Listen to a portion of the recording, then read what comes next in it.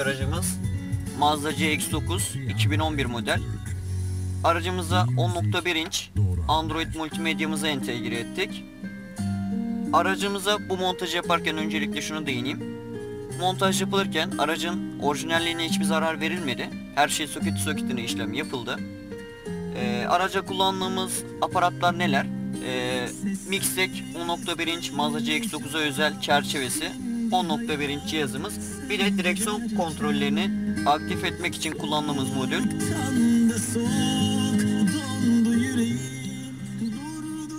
Bu araç boş model. Bazılarında Bose ses sistemi oluyor. Onları da aktif edebiliyoruz. Şu şekilde direksiyon kumandasını göstereyim. Ses açma, kapama. Kanallar arasında geçiş.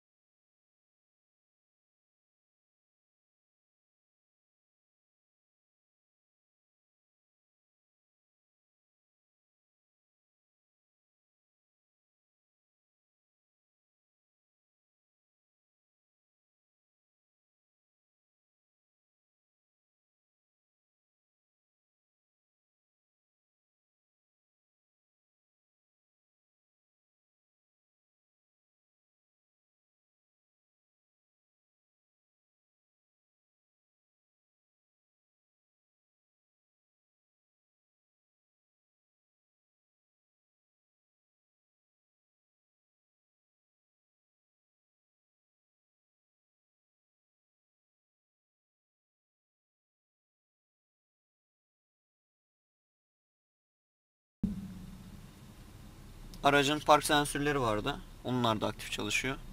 Orijinalinde değil. Bu şekilde şu anda mavide.